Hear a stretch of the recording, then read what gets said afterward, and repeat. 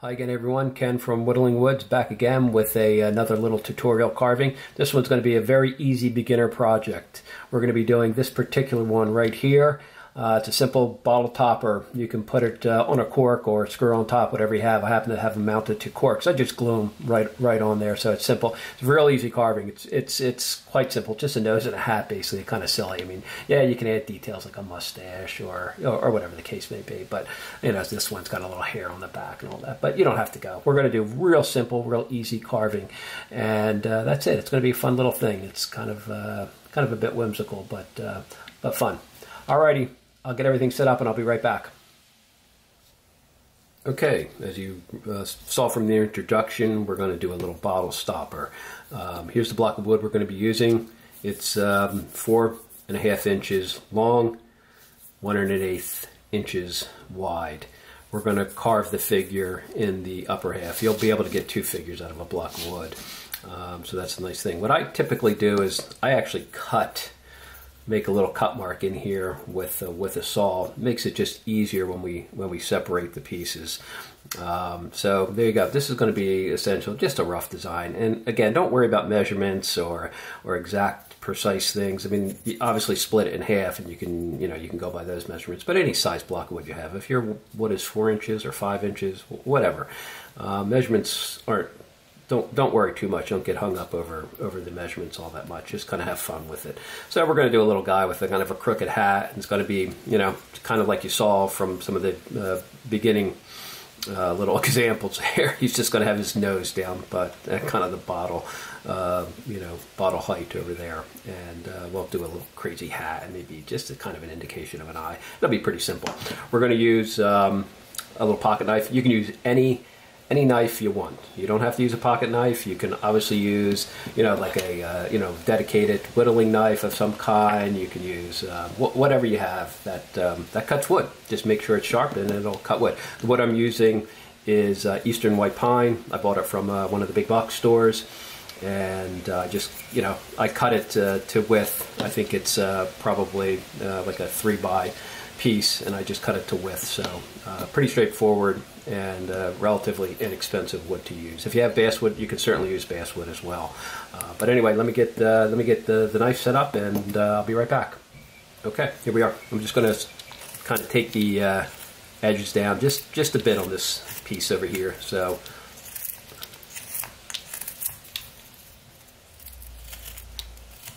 we're going to make the brim of the hat come all the way to the back so we won't even have you know really any indication of hair or anything like that. This is going to be as simple as it as it comes you can you could certainly make them you know more detailed. We're just going to keep this this one here real simple. So um, I'm just taking the, the uh, dimensions down a bit. I kind of mark the top you know, I, I, square off, I go from corner to corner, just so I can have a reference to see where I'm going. So it's it's not that important, but you know.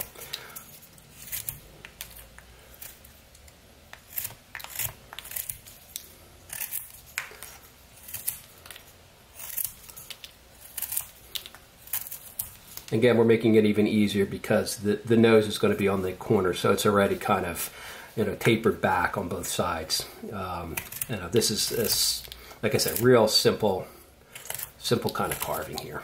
So nothing, nothing too complex. Definitely a nice beginner project. And if you have some bottles of your favorite beverage that require some type of corked top or even I guess a screw on top, you know, anything you can glue the uh, piece to, it'll work. It's kind of fun, a little whimsical, you know, silly sitting there in your in your cabinet. People see it and kind of laugh.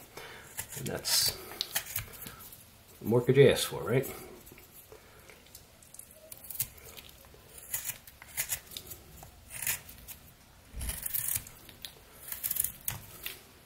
So as you see, we're just bringing it down a bit here.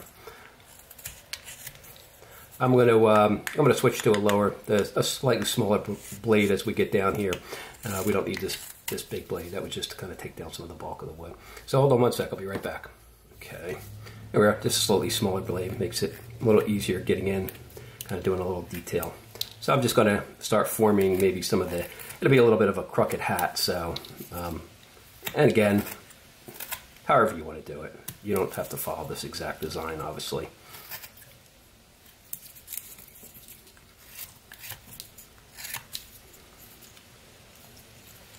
And maybe we'll bend it here as well back.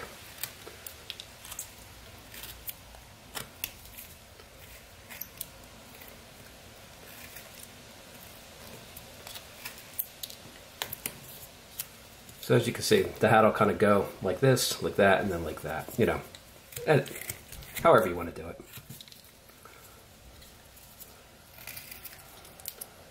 Windows like this, I, I just kind of, I kind of go with the flow. I don't really think too much on design all that much, you know, and maybe I should, but I really don't.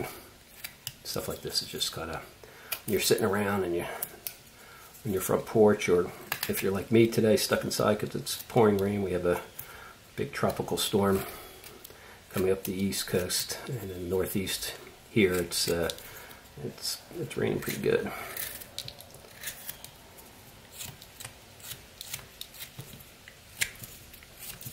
But good day to whittle.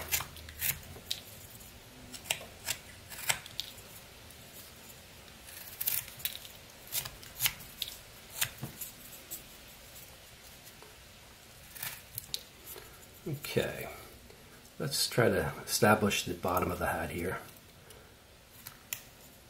We're just going to go around here and take it in a bit. So top of the nose, kind of bottom of the hat. That kind of thing. That's all we're doing. Just go along and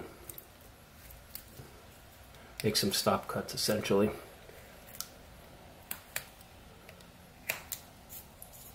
So you can see we're just kind of making some stop cuts to the bottom of the hat. This here, this will be the nose here. We're just tapering it back just a bit. Guess he's got some kind of floppy hat on or something like that. So there you go.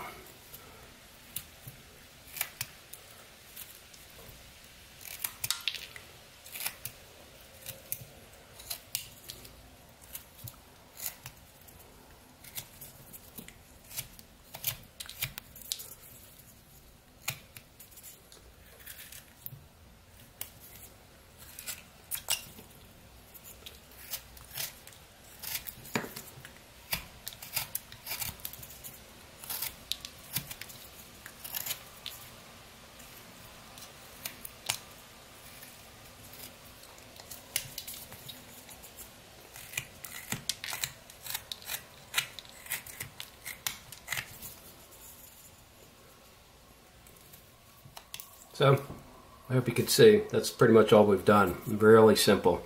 We're just kind of cutting it back and not following any rules or patterns, just, just kind of going with the flow.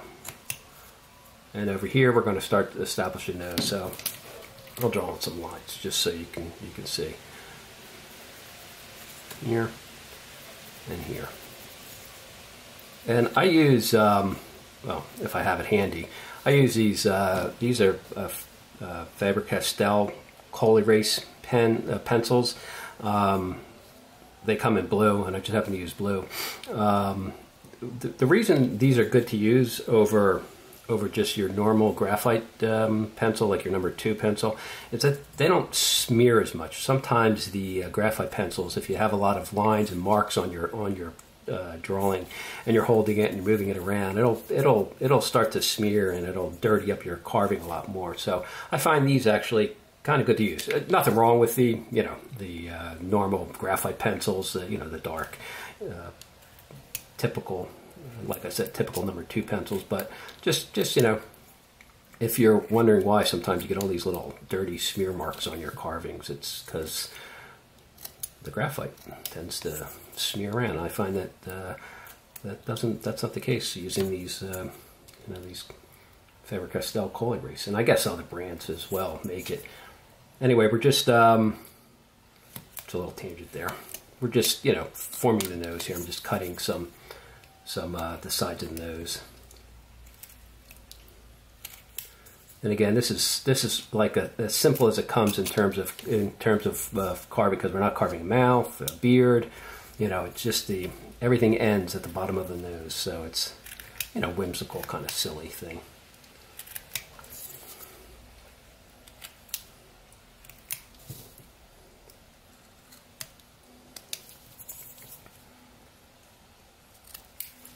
So you can kind of see there, I've just kind of cut that back a little bit.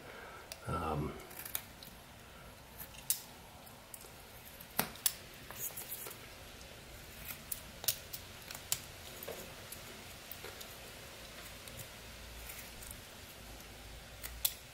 I tend to deepen it where the uh, nose and the you know top of the nose is a bit more. So just go in there and deepen it a bit, right in this, right in this area over here. Um, it just uh, creates a little bit more shadow, a little more depth in there, and that's kind of what you want. So there you go.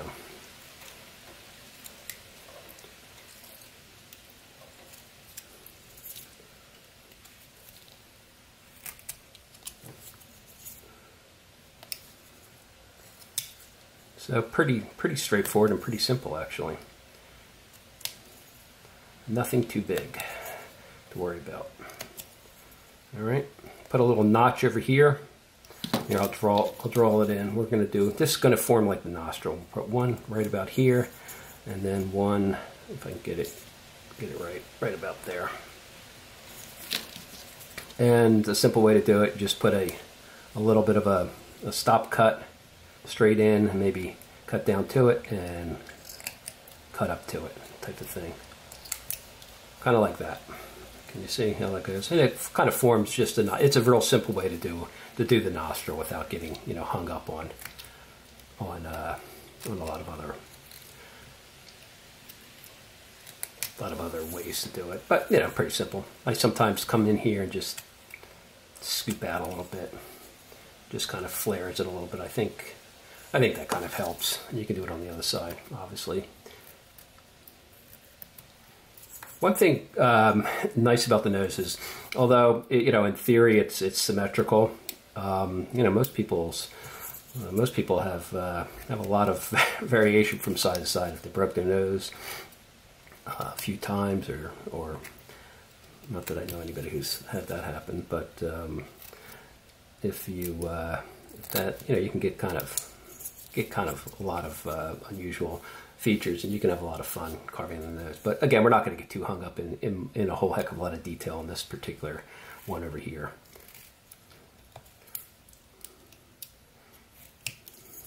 These are real, real simple to do and you don't have to worry about a whole heck of a lot of you know if you want to put sort of the indication of a smile line here you can kind of do that it's it's not going to show up all that well, but you, you can you, you can of course you can do it too. And when you when you cut it out, um, you can deepen that a little bit more.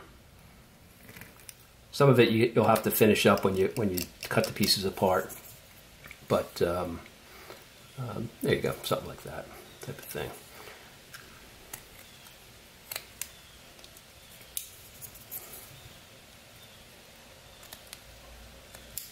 There you go.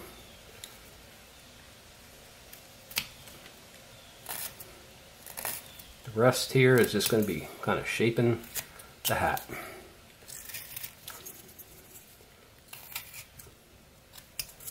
I think if you're you're just getting into whittling, I know um, you know a fair amount of people who've who've uh, left comments on my videos have have mentioned that they're new to whittling, and um, and uh, you know they they're just learning and and if that's the case, this is this is a great little project. You get something, you get something, excuse me, you get something out of it in the end, which is always kind of fun to have a little something that you can actually use, um, and um, and it's so simple to do. It's really, really just a, an easy, easy project to do that anyone could do. And you don't need any special knives. You don't need gouges. You just um, and you don't really even have to follow any kind of you know, measurements or any any any stuff like that. Just just keep it free forming, and have fun. Rest of this is just kind of playing around with the hat a bit more, just to kind of bring it down, you know. And again, just kind of get a feel for it and see how you how you like it.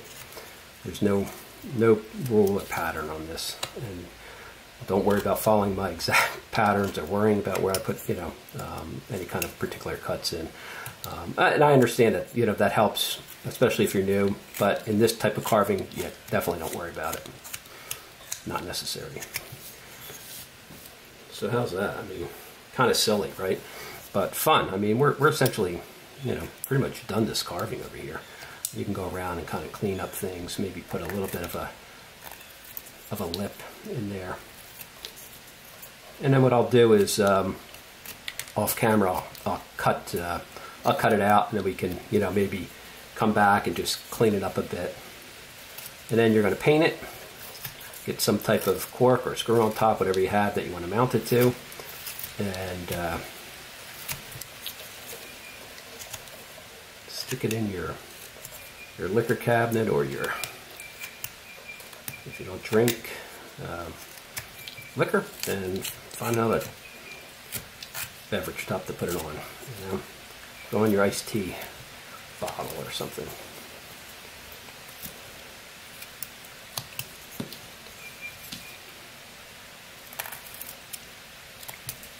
Okay, what I'm going to do is um, cut it out, cut the uh, piece out from here. Normally what I would do is I would carve another one on this side so I'd have something to hold on to. I like to keep, you know, my, my the hand that holds a piece away from, if, if you only had this block of wood you're working with, you got to be a lot more careful because your hand's much closer to the knife. If you're down here holding it, your hand's further away. It's just a little safer. But we're, we're, we're just doing the, the one today and just to kind of show you how to do it. And uh, let me just uh, cut this out and I'll be right back. Okay, I cut out the piece here. So um, as you can see, we're just right at the bottom of the nose. I know it's kind of silly looking, but um, you know, it's what it is. And then I just go back in here. And this is basically would be, you know, where your smile line is on your face since, you know, we're, we're just going to kind of deepen that a little bit. It kind of gives just the impression that it's there. And you can go back and, you know, clean it up a little bit and uh, fix up the, the sides here that you couldn't get to, if you can see. And um, that is really about it. You know, if you see any things that need to be touched up on the hat, you can do that. And kind of that's that's it. I know it's it's kind of crazy looking, but uh, it's pretty silly. And uh, I'm going to go find a um, a bit of a, a, bottle top that I can mount this to, and um, and maybe I'll put a little paint on it first, and then um, we'll see what it looks like. But that's essentially it. As you can see, I mean, I, I don't know that you could get any easier than this. It's a it's a fun little silly project to, to do, and um, you know, if you mess up, obviously, what did it take? A few minutes to do. Um, so it's it's not that big a deal, but um, it's it's just kind of a fun, whimsical product. Then we'll put it on a little uh, bottle top, and we'll have something kind of silly. But uh, let me uh, let me go do that, and uh, I'll be back when that's all done. Okay, there you go. Paint it up, mount it on a little cork. Silly as it is, just a hat and a nose, basically. That's all it is. I added a little, just a little detail there, a little patch in his hat there. But that's it. Simple as could be. Uh, couldn't be an easier carving to do, and it's kind of fun um, when it's in the bottle. And I'll show you that in a second. Just wanted to give you a look at the, the finished product here. Pretty easy. You can see it didn't take long at all. All right, let me put it in the bottle. I'll Be right back. Okay, there you go. All, all sitting in the bottle there, uh, with a couple other little quick ones that I did as well, silly as they are. Anyway, it's a quick, easy little project for anyone to do. You can see it's not very complicated at all, and it's kind of a whimsical little thing to have on your uh, on your uh, liquor shelf or or your whatever your favorite beverage shelf would be. So anyway, I hope you enjoyed that little whittle. It's a fun, quick one, uh, great for beginners, and um, pretty whimsical. So enjoy your carving week. Have a good day. Thanks for watching. Take care.